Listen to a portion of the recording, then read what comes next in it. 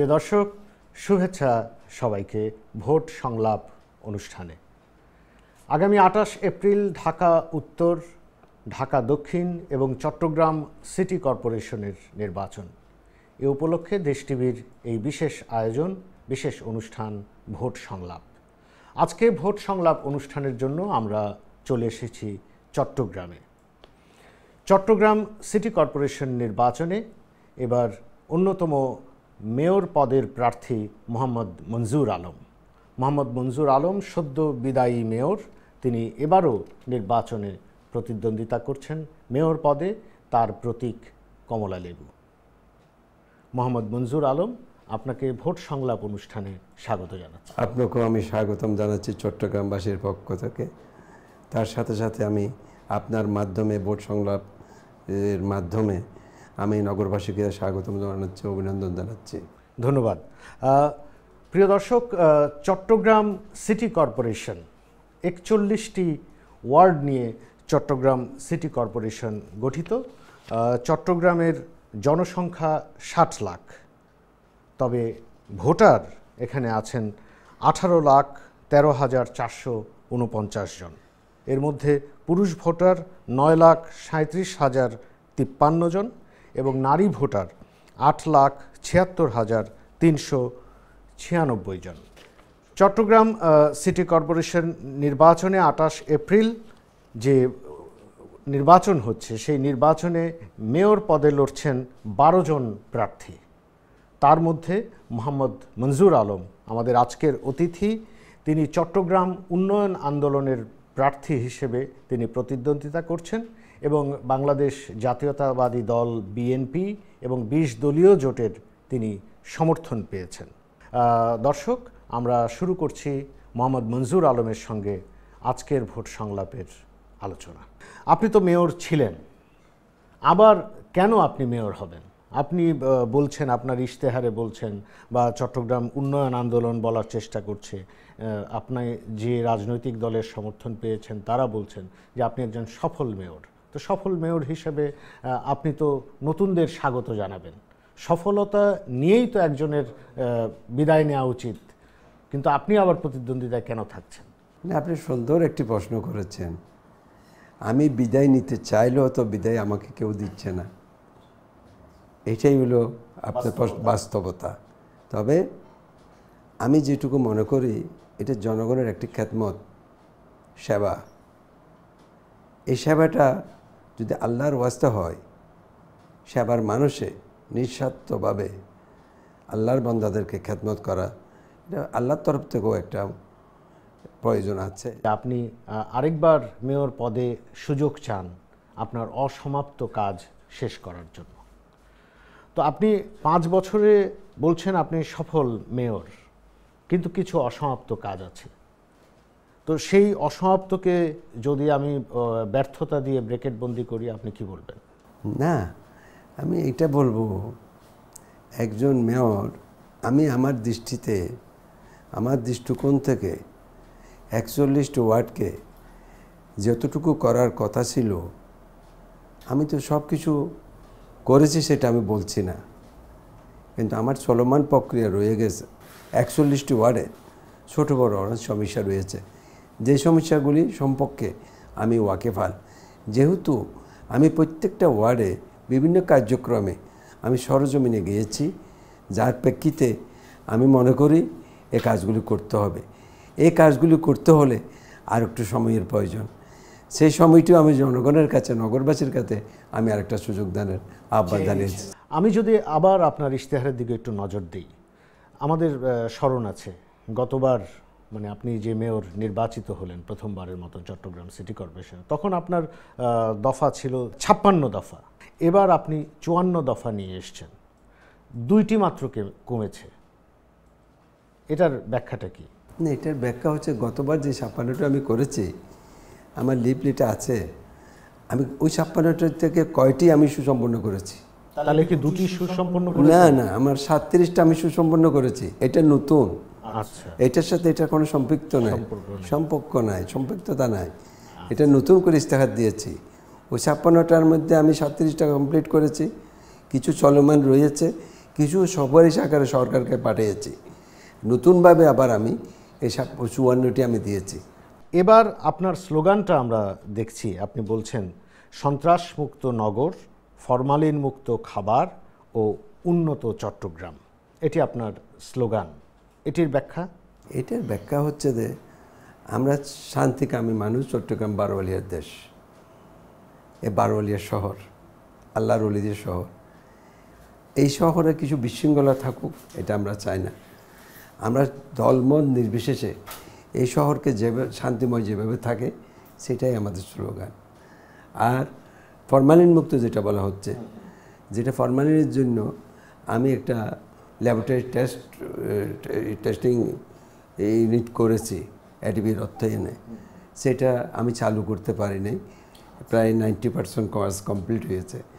এটাও ইনশাল্লাহ যেটিতে যেগুলি আসবে, এটা এখান থেকে টেস্ট হবে। চট্টগ্রাম আগে ছিল না। এটা বিরাট একটা সাফল্য। আপনি বলতে চান, এখন জলাবদ্ধতা নেই। এখন যেটি আছে, সেটি জলজট। খুব জল যতটুক জমে, সেটি তিন ইঞ্চি পরিমাণ। এবং সেটা পাঁচ সাত দিন থেকে তিন ঘণ্টার মধ্যেও শেষ হয়ে যায়। আসলে কি জলাবদ্ধতা নেই? আমার মনে হয় এটা ঠিক না। জলবদ্ধতা নেই, জলজোট আছে। এই জলবদ্ধতা নিরসনে আমি যেই উদ্যোগটা নিয়েছিলাম, এই উদ্দেশ্য এই উদ্যোগটা বাস্তবায়ন করতে হবে। এই বাস্তবায়ন করলে আমরা স্থায়ী জলবদ্ধতার একটা সমাধান ইনশাল্লাহ এসে যাবে।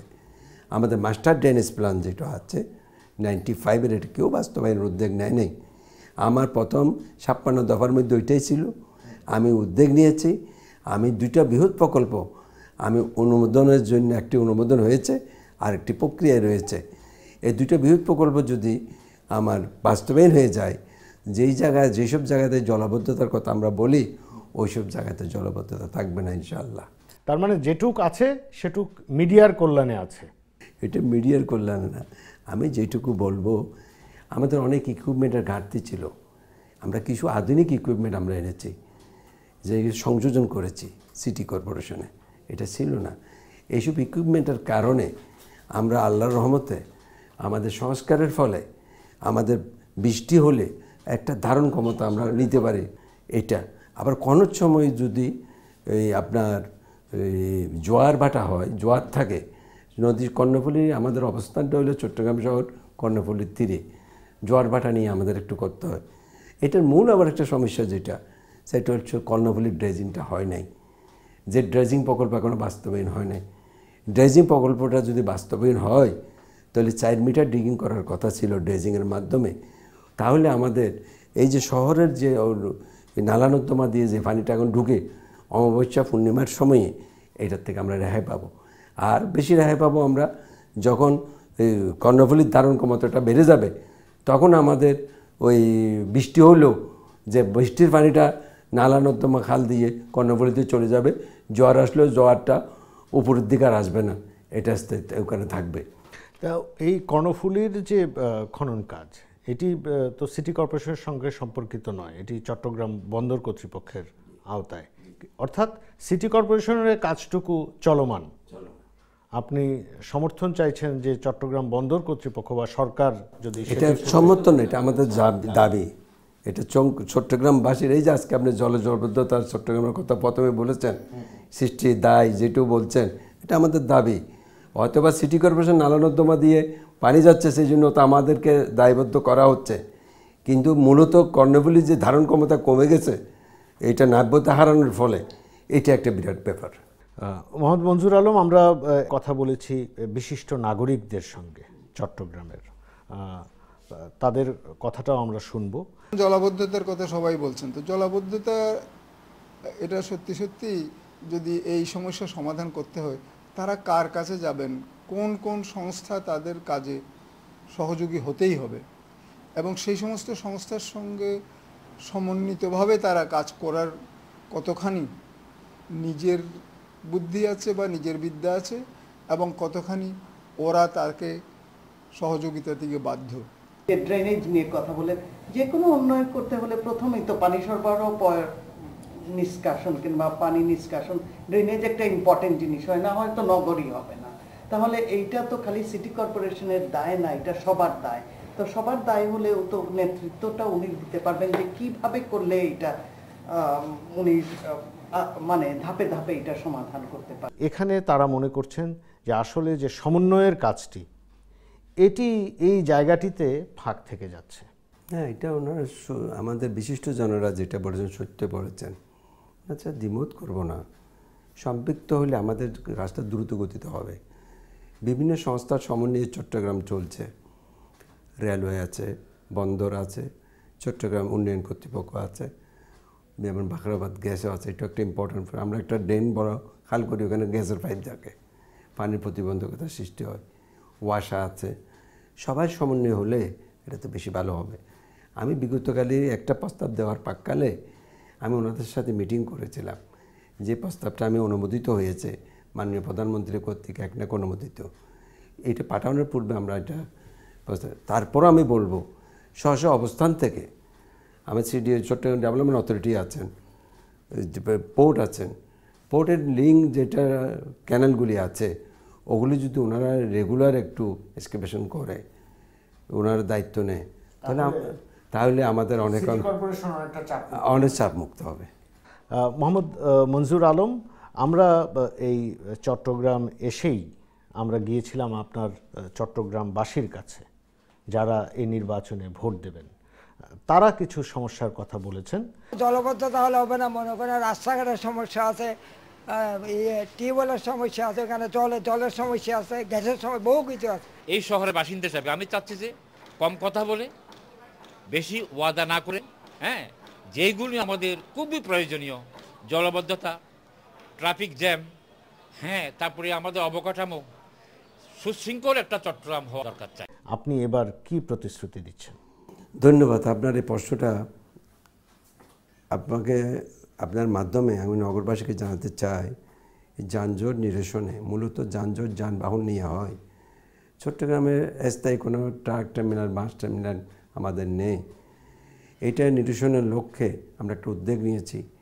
সেই উদ্যোগটা হচ্ছে হালিছর আনন্দবাজারের পাশে আমরা একটা স্থায়ীভাবে একশো একর জমির উপর বাস টার্মিনাল করব, ট্রাক টার্মিনাল করব। এবং সাথে আমরা ক্যাটেল মার্কেটটা ওইখানে নিয়ে যাব স্থায়ীভাবে। এইটার ইনকামিং হবে। এটা ফুসদারহাট দিয়ে বেরিমাত হয়ে ইনকামিং হবে আউটওয়ে আউটওয়ে হবে ওই রাস্তা দিয়ে। শহরের সাথে এটা কোনো সম্পৃক্ত থাকবে না। ইন্টারনাল লিঙ্ক রোড যেগুলি আছে ও বেরিবাদ দিয়ে বেরিবাদ যাওয়ার জন্য আমাদের ওগুলিকে আমরা উন্নয়ন করে দেব। যাতে শহর থেকে মানুষ গিয়ে ওখানে বাস স্ট্যান্ড, ট্রাক স্ট্যান্ডে যেতে পারে প্রয়োজন বোধে। ট্রাক স্ট্যান্ড ওখান থেকে জেটিতে সরাসরি যাবে আর বাস স্ট্যান্ডে আমরা ইন্টার ডিস্ট্রিক্ট বাসগুলি আমরা ওখানে ব্যবস্থা করে দেব। তো এগুলি সম্প- সম্প্রসারণ, আমরা শহর এখানে টানেল হচ্ছে।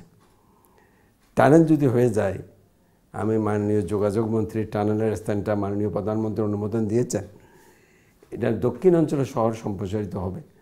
দক্ষিণাঞ্চলে যখন শহর সম্প্রসারিত হবে, তাহলে চট্টগ্রাম শহরের যে একটা ঝামেলা আছে অনেক অংশে আমরা এটার থেকে একটা সুফল পাবো ইনশাল্লাহ প্রিয় দর্শক ভোট সংলাপে আজকে আমরা কথা বলছি চট্টগ্রাম সিটি কর্পোরেশন নির্বাচনের মেয়র প্রার্থী মোহাম্মদ মঞ্জুর আলমের সঙ্গে। একটা বিরতি নিচ্ছি, ফিরে আসব কিছুক্ষণ পরেই। আশা করি আমাদের সঙ্গে থাকবেন।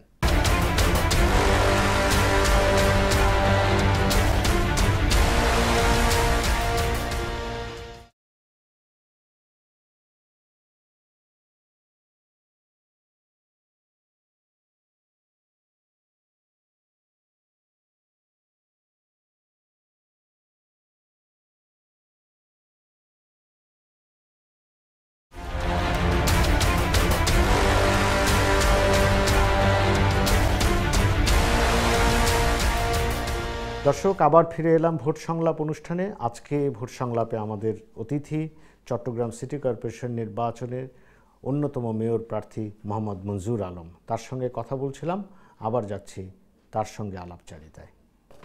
আরেকটি কথায় আসি। আপনি যে বলেছেন যে আপনি এবার চার বছর, ছয় মাসে নশো কোটি টাকা আপনি ব্যয় করেছেন। অনেক টাকার কাজেও আমি আপনার দুটো প্রচারপত্র ইশতেহার আমি পড়েছি। পড়ে আমি যেটা দেখেছি যে আপনার স্বল্পমেয়াদী কার্যক্রম ছিল সতেরোটি মধ্যমেয়াদী দশটি দীর্ঘমেয়াদী নটি।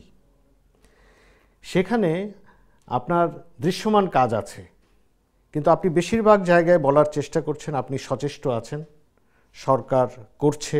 জি জি ওইটা আগে আগের ইশতেহারে। হ্যাঁ। জি জি জি এগুলি আমাদের যেগুলো দীর্ঘমেয়াদী মধ্যমেয়াদী।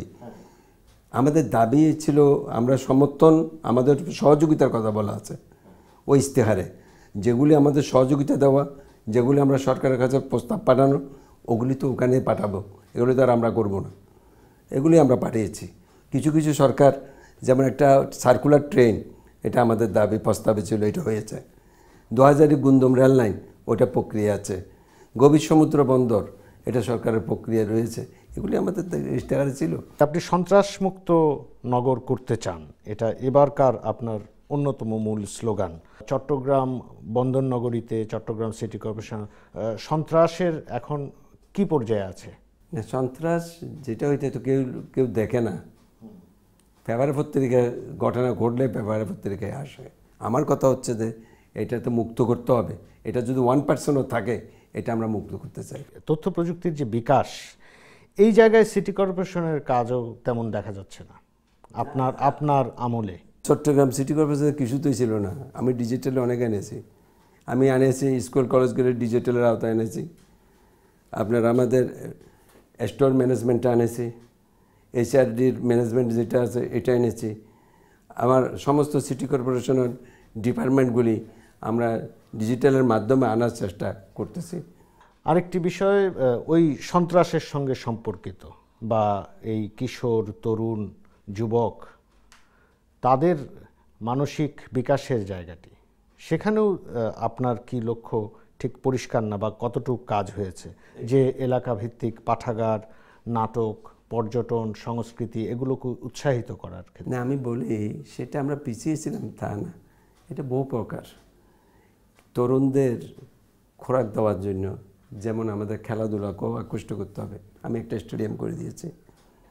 কিছু মাঠ তৈরি করে দিচ্ছি। এবার আমার আছে, আমাদের পর্যাপ্ত মাঠ নেই সিটি কর্পোরেশন এলাকাতে, আমরা কয়েকটা মাঠ। আমরা একটা জিম করে দিয়েছি আমি। এটা আমি উদ্বোধন করি না এখনও। একটা সুইমিং পুল করে দিয়েছি। সেটা উদ্বোধন হয়নি আরও কিছু জিম করব। কিছু পাঠাগার করব। বিনোদনের জন্য কিছু ব্যবস্থা পর্যটনের জন্য কিছু ব্যবস্থা করব। এটা তরুণদের জন্য আমাদের করা হবে।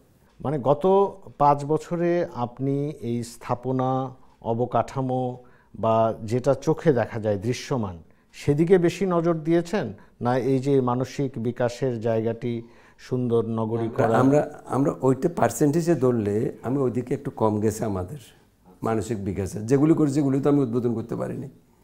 আর আমরা একটু প্রচার বিমুখ ছিলাম। কাজের প্রত্যাশী ছিলাম বিশ্বাসী ছিলাম। আমি এই যে কাজগুলি করেছি নয়শো কোটি টাকার অনেকে অনেক কথা বলে। যে কোথায় কাজ? কোথায় কাজ? আপনি জেনে আশ্চর্য হবেন। আমি কাউকে পার্সিয়ালিটি করা হয় নাই। দলীয় মুক্ত অবস্থানে সিটি কর্পোরেশন চলেছে। যার প্রেক্ষিতে অনেক কেউ আমার প্রতি একটু অনীহা আছে অপছন্দও আছে। থাকতে পারে। আমি একটা দায়িত্ব নিয়েছি সিটি কর্পোরেশন আমি আমি ওয়াদাবদ্ধ ছিলাম। এটা আমি সব কিছুর থেকে মুক্ত ঊর্ধ্ব রাখব। আল্লাহ পাক আমি সেটা রেখেছি। মোহাম্মদ মঞ্জুর আলম আমাদের সময় একেবারে নাই। তারপর একটু ছোট্ট জায়গায় আসি, যে আপনি বলতে চাইছেন, বারবারই বলেন যে নশো কোটি টাকার কাজ করেছেন। কিন্তু আপনি গত নির্বাচনে আপনি মেয়র প্রার্থী হয়েছিলেন। আপনার সমর্থনে ছিল সে সময়ের বিরোধী দল। বাংলাদেশ জাতীয়তাবাদী দল বিএনপি এবং বিশ দলীয় জোট। কিন্তু আপনি কাজ করেছেন নশো কোটি টাকার কাজ করেছেন সরকারের বরাদ্দ পেয়েছেন। সরকারের সঙ্গে তো তাহলে আপনার ভালোই বোঝাপড়া ছিল। আমার সঙ্গে কোনো সময় খারাপ ছিল না। না কিন্তু আমি এই ভালো বোঝাপড়াটার ক্ষেত্রে প্রশ্নটা করতে চাই। আপনি কি এভাবেই চলবেন সরকারের সঙ্গে বোঝাপড়া করে? নাকি আমরা যে কথাটা বলি আমাদের নাগরিক সমাজ বলার চেষ্টা করে যে সিটি কর্পোরেশনগুলো স্বায়ত্তশাসিত হওয়া দরকার, একটি নগর সরকারের জায়গায় আসে, আসা দরকার। নগর সরকারের ব্যাপারে আপনি কেন ভোকাল হন না? না, এটা তো এটা তো আমাদের দাবি। এটা সরকার একটু উদ্যোগ নিতে হবে। এই সিটি কর্পোরেশন, সারা পৃথিবীতে সিটি কর্পোরেশন যে আদলে চলে, যদি আমরা সেই আদলে চলি, আমরা করি সিটি কর্পোরেশনকে, তাহলে একটা দেশের সুনাম হবে। সিটি কর্পোরেশন পরিধি, কাজের পরিধি বাড়বে। সম্মান বাড়বে। সব ডিপার্টমেন্টের সাথে একটা সমন্বয় থাকবে। সবাই সাথে একটা সম্পর্ক থাকবে। কে কি করতেছে এটা নলেজে থাকবে। এবং সেন্ট্রাল গভর্নমেন্টের সাথে একটা যোগাযোগ আরও উন্নত হবে। শেষ প্রশ্ন আপনার জন্য। বারো জন মেয়র প্রার্থী আছেন। তো এই যে নতুন করে আপনি আবার ভোট চাইছেন মেয়র পদে কাকে মনে করছেন প্রধান প্রতিদ্বন্দ্বী? না সবাই যখন মেয়র প্রার্থী হয়েছেন সবাই এগারো জনও তো আমার বিরোধী কেউ তো আমার পক্ষে বলবে না। সবাই তো আমার প্রতিদ্বন্দ্বী। সবাই আপনার প্রতিদ্বন্দ্বী। সবাই আমার প্রতিদ্বন্দ্বী। আচ্ছা এবার আপনাকে দশ সেকেন্ড সময় দিতে চাই। আপনি আপনার ভোটারদের উদ্দেশ্যে দেশ টিভির দর্শকদের উদ্দেশ্যে আপনার সমর্থন চেয়ে আপনি কিছু আমি প্রথমে দেশ টিভিকে ধন্যবাদ জানাচ্ছি। আজকে আমার বাসভবন এসে আপনারা একটা চট্টগ্রাম এসে আমাকে কিছু বলার সুযোগ দিয়েছেন। তার সাথে আমি এই নগরবাসীকে ধন্যবাদ, কৃতজ্ঞতা জানাচ্ছি। যদি বিগত কালে আমি কাজ না করতাম, যদি মেয়র দায়িত্ব পালন না করতাম, তাহলে আজকে আপনি আমাকে সুযোগটা দিতেন না। আমি করেছিলাম বিদায়, আজকে মেয়রের দায়িত্ব পালন করেছিলাম বিদায়। আবার মেয়রের জন্য আমি প্রার্থী হয়েছি। নগরবাসী আমাকে সমর্থন দিচ্ছে, সেনাও করছে, ভালোবাসা দিচ্ছে। আমি নগরবাসীর কাছে আবারও বিনীতভাবে আহ্বান জানাব, আমাদের অসমাপ্ত কাজগুলি সমাপ্ত করার লক্ষ্যে আপনারা আমাদেরকে আরেকটি বার সুযোগ দেন। ইনশাল্লাহ আমি আপনাদের পাশে আছি, আপনাদের পাশে থাকব। ধন্যবাদ। ধন্যবাদ মোহাম্মদ মঞ্জুর আলম। প্রিয় দর্শক, আমরা ভোট সংলাপ অনুষ্ঠানে এতক্ষণ কথা বলছিলাম চট্টগ্রাম সিটি কর্পোরেশন নির্বাচনে কমলা লেবু প্রতীকে মেয়র পদপ্রার্থী মোহাম্মদ মঞ্জুর আলমের সঙ্গে। তিনি তার প্রতিশ্রুতি কথা বলেছেন, অঙ্গীকারের কথা বলেছেন এবং বিদায়ী মেয়র হিসেবে তিনি কি কাজ করেছেন সেটাও আপনাদের জানানোর চেষ্টা করেছেন। তার কথা শুনে আগামী নির্বাচনে আপনারা আপনাদের সিদ্ধান্ত তাকে জানাবেন। এই কামনায় শেষ করছি। আজকের ভোট সংলাপ। সবাই ভালো থাকুন, সুস্থ থাকুন।